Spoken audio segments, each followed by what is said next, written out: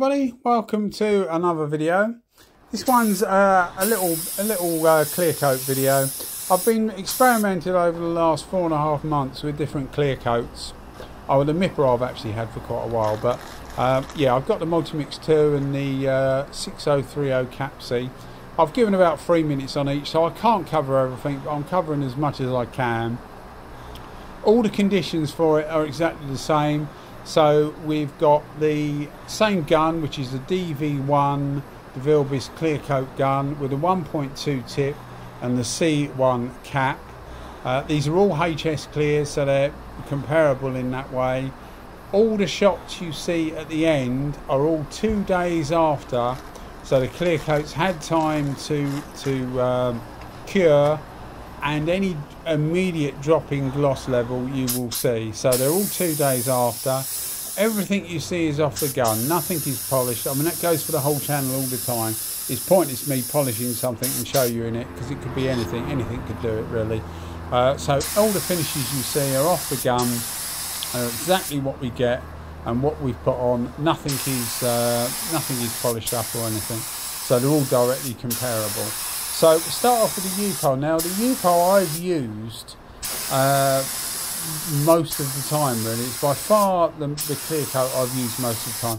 It's an old school clear coat. It's, it's just the technology is quite old and I was quite interested to see how some of the newer ones, as I've used the Mipa before uh, a couple of times, but recently I've been using all of them a lot to uh, give them a, a good uh, airing really and test. And, and the U-POL by far out of these flows the least so if you're if you're someone quite new to painting, I would recommend buying one of the better ones.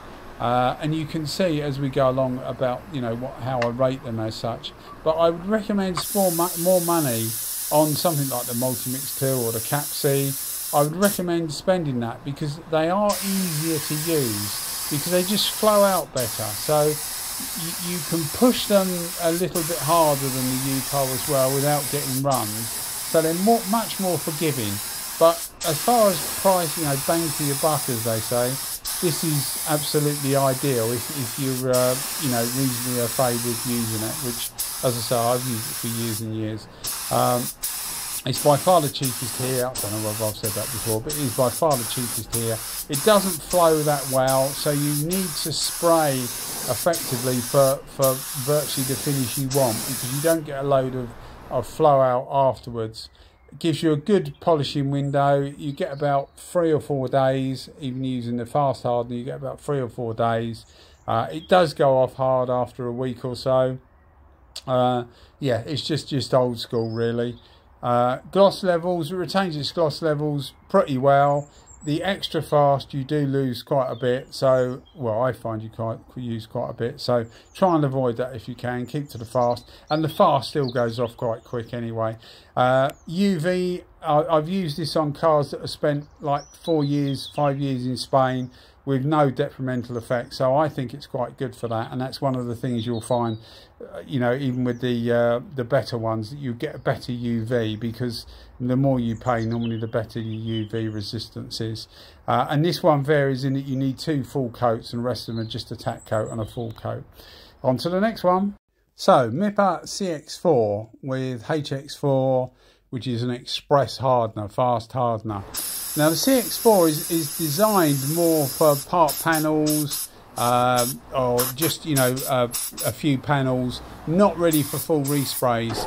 And one of the reasons for that is it goes off really, really fast and it goes off really, really hard. So your, your polishing window is not particularly great and as the weather warms up it gets less. So just bear that in mind it's ideal if you want to do something and then a few hours later just flatten it and polish it or take denib it or whatever.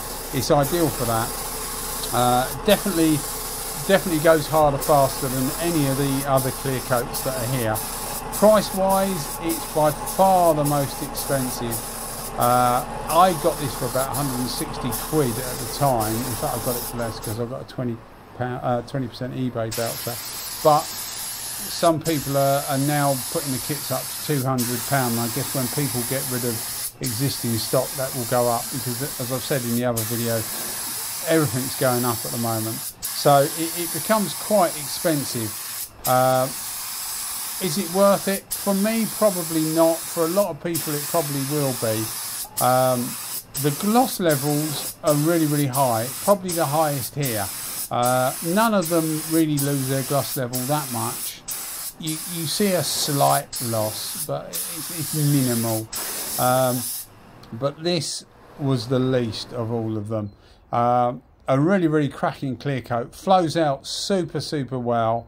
Um, it, it's defi- it definitely shows its quality uh, over the others, but uh, obviously, as we've already said, at a price. So, you know, in the case of the other ones, it's nearly twice the price. So you get what you pay for, but I, I really found this a, a cracking clear coat.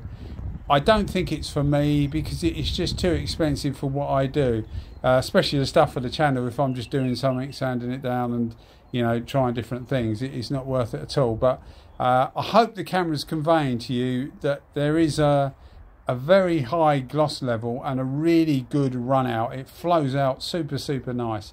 So definitely you notice the money. Again, is this is a, a tack coat and then a full coat always read the technical data sheets on these because it will give you a head start and a heads up as to what's going on. Uh, yeah, the best the best here I think for uh, all round uh, usability. But as I say, you you're you're paying for that, guys. Okay, on to the next one. The Multimix 2. Now they call it Multimix 2 because they originally had the original Multimix, which they still make, which is a medium solids. This is a high solids version of it. Uh, I used it again with fast hardener as with all of these, and it acted perfectly well. Um, very, very good in the colder conditions. Not as quite as good as the U-POL, but it, it is a better clear coat than the U-POL, but obviously it's more expensive. Flows out really, really nice. Uh, it was, in fact, my favourite clear coat until we got to the to the warmer weather uh, and the Kapci took over. But for most of the time, this was my favourite clear coat. As I say, it flows really, really well.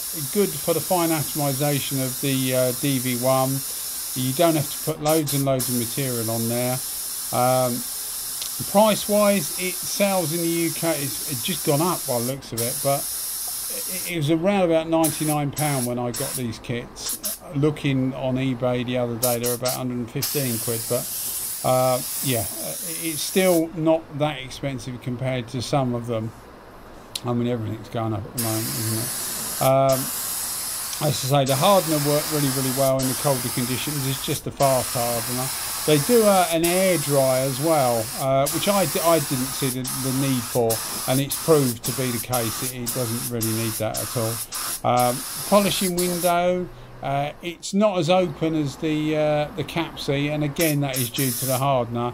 But you'll get a couple of days normally where you you'd be able to flatten and polish it without it being too too, too hard to uh, do anything with. But it does really depend on the uh, the conditions. Um, the gloss level retained its gloss level really, really well. Um, as as good as the Kapci, I think. Hardly anything in it. I mean, you can make your own judges as best you can on camera anyway uh, with the um, the final footage. But yeah, it held its gloss level really, really well. Uh, UV properties, it's not as new as the Kapci, as far as I know, it's not as new as the Kapci, but again, it's still a relatively new clear coat. Uh, so yeah, I mean, uh, we don't know, do we, at the moment? It takes years really for something like that to come through. Uh, genuine high solids clear, so really good, really good for uh, you know if you want a high solids clear. The medium solids version is also pretty good. I've never used it, but uh, I know people that have used it and they, they say it's actually quite good. This is funny because I put a, a, a photo of the various clear coat, or two clear coats anyway, including this one, on Instagram, and a couple of people contacted me to say they'd had problems with this. But I, I haven't had problems with the M MM2, um, but obviously it doesn't suit everybody. So yeah, I mean, uh, you have to give it a try really to know. Anyway, recommended, guys. Kapci 6030.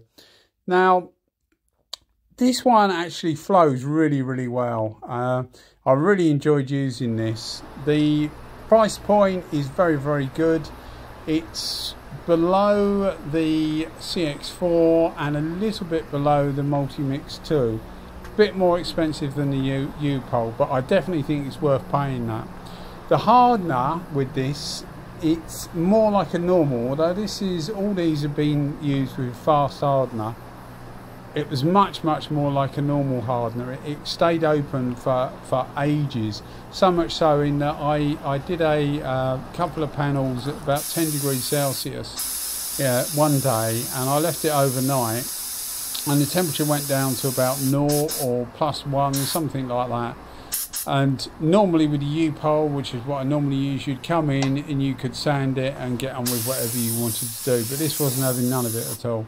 It was it was it cured to the touch, but it was definitely soft, definitely soft. But after a couple of days of just standing around and the temperature warmed up a bit, it was absolutely fine. So it's definitely the hardener, and I've used it in the summer, and it's ideal. The fast hardener with this acts more like a normal. So even, I mean, we've had temperatures up well 40 degrees one day uh, in the UK, 40 degrees Celsius, and it was actually perfect. So yeah, definitely, if you're doing anything and it's remotely chilly, get yourself the extra fast, not the fast hardener. So basically just sort of jump up, jump a step that you normally do. Polishing window was really, really good. A couple of days you'll get, depends on the hardener and the temperatures, but a couple of days it should be okay. Uh, gloss levels were really, really good. Uh, I mean, all these didn't drop much in the way of gloss level. Only the U-POL drops a, a very small amount with the fast hardener. Uh, extra fast it drops a lot more, but yeah, it's very very minimal. You'll you see at the end, and obviously you see at the end uh, the final results. Uh, UV qualities I'm still not sure about yet because it's relatively new to the market, uh, but I'm sure it should be um, absolutely fine. Uh, these are all high solids clears, so um, you know they're all comparable as such. And this one is, I mean, always read the technical data sheets on these, but effectively it's uh, like a, a, three quarters coat, like a, a, wet tack coat, and then a full coat for your uh, final gloss. But yeah, it works really, really well, flows out really well with the uh, finer atomizing guns like the DV1. It's not that fast, but it can atomize very fine. Um, so yeah, highly, highly recommended. This went from being my least liked to my most liked. Yeah, recommended. So thanks everybody for watching. I've done my best to try and represent these as um, as clear as I can, and it's difficult. I mean, you know, it's difficult to uh, do a shootout of clear coats. Really, most of it will be what I say, I suppose. But certainly, in order, it's the the MIPA CX4 would be the top one, but it, it's much more money. So I think the best value for money is going to be the Kapci uh, because it's as good as, in my opinion, it's as good as the multi-mix, if not slightly better. Uh, you just got to get that hardener right. Make sure you get the extra fast hardener. And the U-POL's coming up the rear, but it's, it's much, much cheaper. All right, guys, thanks for watching as always. Bye-bye.